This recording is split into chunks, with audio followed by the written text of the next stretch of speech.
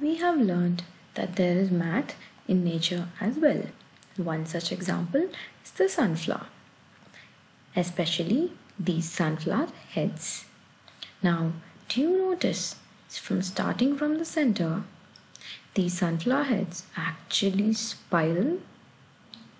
There are two types of spirals. One, spiral towards the left, and second, that spiral towards the right.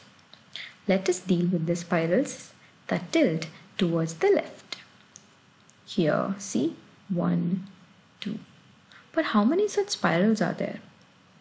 First, hit the show left curving spirals to view the spirals by clicking on it. Wow, so many spirals, huh? Now, if we want to know the count of these spirals, click on show count of spirals. There you go. Why don't you explore as well?